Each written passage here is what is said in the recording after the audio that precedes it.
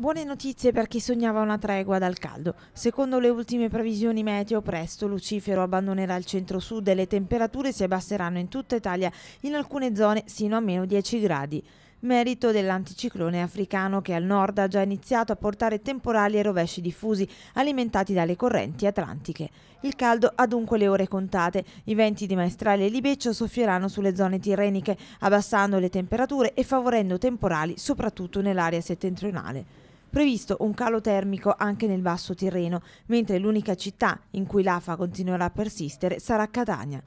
I cambiamenti maggiori comunque si avvertiranno già nelle prossime ore, quando le temperature crolleranno di 10 gradi, anche se non si verificheranno come al nord particolari rovesci.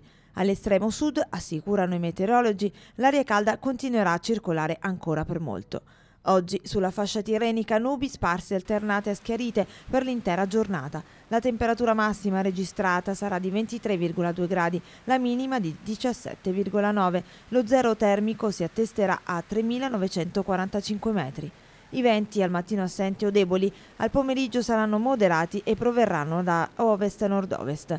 In serata forti raffiche di vento. Attenzione però perché secondo gli esperti l'estate non è ancora terminata. La prossima settimana, subito dopo Ferragosto, l'Italia verrà investita da una corrente d'aria calda subtropicale proveniente dal Maghreb che porterà una risalita delle temperature oltre i 40 gradi in tutto il centro e il sud.